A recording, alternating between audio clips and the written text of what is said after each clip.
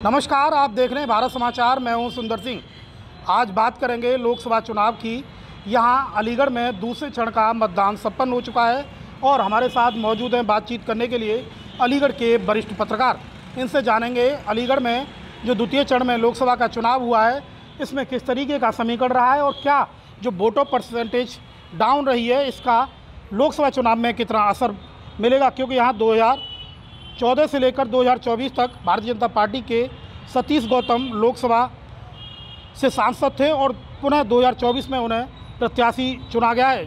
उनकी टक्कर पर समाजवादी पार्टी के प्रत्याशी चौधरी विजेंद्र सिंह है और बहुजन समाज पार्टी के हितेंद्र उपाध्याय बंटी। सर, क्या नाम है आपका? और इस बार का जो चुनाव है, किस समीकरण के तहत देखा जा रहा है? मेरा नाम रतन वाटने है। मैं यहाँ एक दैनिक समाचार पत्र का संपादक हूँ। अब की बार के चुनावों में जो मतदान का प्रतिशत गिरा है, उसके पीछे दो कारण हैं मूल रूप से। एक तो गर्मी, अधिक गर्मी होने का कारण, दूसरा भाजपा के प्रत्याशी से जनता का थोड़ा बहुत नाराज़गी। और उसी का परिणाम हुआ कि हम जो उम्मीद लगा रहे थे कि साठ से सत्तर परसेंट मतदान होगा, वो मतदान जो है वो छप्पन सत्तावन के बीच में आके अटक गया। यहाँ ये भी देखा है अब की बार के जिन क्षेत्रों में अधिक मतदान हुआ करता था वहाँ भी मतदान बहुत कम हुआ है। जो आंकड़े आए हैं अभी नवीन आंकड़े जो जिला प्रशासन ने जारी किए हैं। अलीगढ़ लोक अलीगढ़ विधानसभा क्षेत्र और कोल विधानसभा क्षेत्रों में जिन मतदान केंद्रों पर मतदान सत्तर और अस्सी परसेंट हुआ करता था वहाँ पचास पचपन के आसपास रह गया। क्या ये नाराज़गी की वजह है या फिर गर्मी इसका मुख्य वजह रही है? नहीं दोनों ही वजह मुख्य हैं इसमें।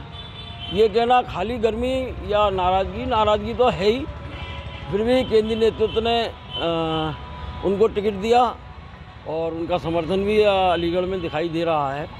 दूसरी, गर्मी की वजह से तो आपने देखा होगा हमारे माननीय प्रधानमंत्री जी आए, उनकी रैली में भी जनता कम गई। अन्य रैलियों में भी जनता कम आई, गर्मी का तो एक बहुत बड़ा फैक्टर है। अच्छा और भी लोग हैं, इनसे जानेंगे।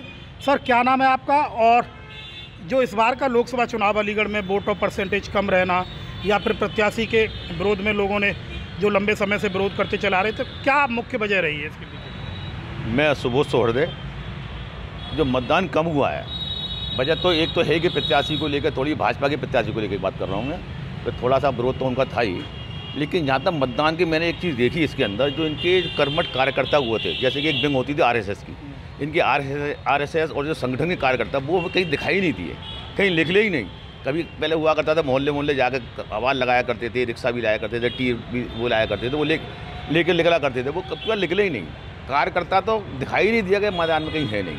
अब बात रही जहाँ तक कि मतदान कम होने की, लगभग आपका पाँच परसेंट करीब मतदान कम हुआ। मैं समझता हूँ कि एक लाख वोट जो कम पड़ा। है अब बात रही जीत हार की। मैं समझता हूँ जीत हार की जैसे ढाई लाख वोटों से हमारी भारतीय जनता पार्टी के प्रत्याशी जो सांसद सतीश गौतम जी जीते थे, अब एक लाख वोट कम पड़ा। और एक लाख वोट मैं कर समझता हूँ कि अगर मान लीजिए भाई जाट समुदाय अगर वो साइकिल को दे देता है तो दो लाख के वोटों का फ़र्क इसमें प्रत्याशी में आने वाला है। अब पचास हज़ार का डिफरेंस रह गया। यहाँ तक मेरी मानना है जो पचास हज़ार जो हैं वही अब की बार प्रत्याशी को हार जीत में कन्वर्ट करेंगे। नहीं क्या ये भी वजह मानना जिस तरीके से जिला अधिकारी और अन्य लोगों ने चुनाव को बढ़ाने के लिए तमाम कैंपेन चलाई वो काम नहीं कर पाई? अपनी चुनाव में कोई कैंपेन काम नहीं कर पाई। ये बात भी थोड़ा समीकरण ये भी है कि गाँवों में कटाई भी चल रही है, फ़सल भी चल रही है, गर्मी भी बहुत ज़्यादा हो गई, कुछ परसेंटेज उस वजह से भी। और परसेंट खाली अलीगढ़ का ही कम नहीं है। मैं देख रहा हूँ ऑल ओवर इंडिया में भी आप माहौल देखें, खास तौर से यूपी में परसेंटेज हर जगह कम हुआ है। जैसे मथुरा देख लो, गाजियाबाद देख लो, यहाँ भी कम हुआ है। ठीक है, और भी लोग हैं सर। आपने चुनाव को बहुत नज़दीक से देखा है। आप बोध बूथ गए, आपने कई विधानसभाओं का भ्रमण भी किया। तो क्या मान के चल रहे हैं इस बार का चुनाव किधर जा रहा है? और जो वोटों परसेंटेज डाउन गया, इसके वजह इसके पीछे क्या वजह और इसका नुकसान कैसे उठाना पड़ सकता है? देखिए, अगर देखिए, हम अगर बात करें तो अगर भारतीय जनता पार्टी से ही मैं शुरुआत करूँगा, जो सत्ता में है, और उसके पास सारे साधन, संसाधन सब कुछ मौजूद हैं। अगर 2014 की हम प्रधानमंत्री की रैली की बात करें 2019 की प्रधानमंत्री की रैली की बात करें तो इस बार की जो प्रधानमंत्री रैली थी, वो काफ़ी कमज़ोर रही। लोगों के द्वारा जो लोग भीड़ लाए जाने का, उनके द्वारा जो कहीं वादा किया गया था कि हम भारी मात्रा में एक लाख से अधिक लोग आएँगे, उस तरह की व्यवस्थाएँ की गई थी। लेकिन जो है, उस तरह की भीड़ वहाँ नहीं आई। और प्रधानमंत्री की स्पीच के बाद लोगों का उठ के जाना। दूसरी बात कहीं ना कहीं जो कह सकते हैं कि जिस तरह से जो है समाजवादी पार्टी कांग्रेस के गठबंधन के द्वारा चौधरी विजेंद्र सिंह को जिस तरह मैदान में उतारा गया, वहाँ जाट जो पिछले बार अगर 2019 के चुनाव की बात करें 14 की बात करें तो कहीं हिंदुत्व के नाम पर बहुत सारे जो तमाम जाट समुदाय था, उसके द्वारा जो बीजेपी को वोटिंग की गई थी।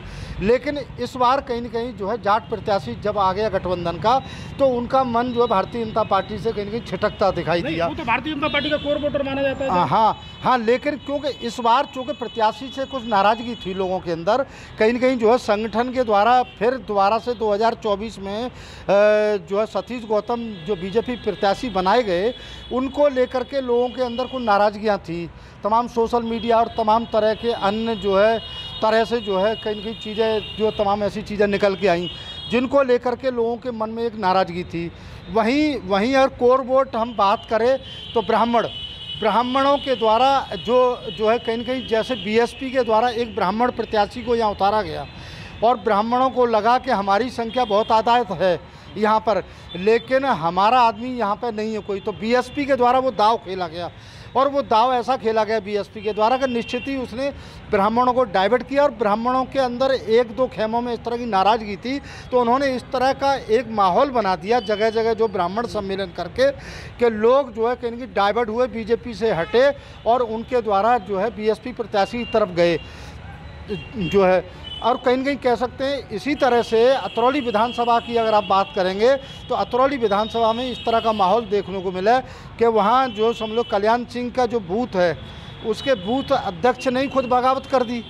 तो ये किसी से कोई छिपी हुई चीज़ नहीं है। तो तो भाजपा का वोट तो प्रत्याशी को मिलता ही नहीं वो तो मोदी जी के नाम पर मिलता है। हाँ निश्चित ही लेकिन लोगों के अंदर नाराज़गी ये थी कि पूरे दस साल की अगर बात करें दो टर्नओवर की तो कहीं न कहीं बीजेपी के जो प्रत्याशी थे उनको गाँव में, क्षेत्र में नहीं देखा गया। ये लोगों के अंदर बार बार हर बूथ पर बात आती थी कि हमने कोई प्रत्याशी नहीं देखा।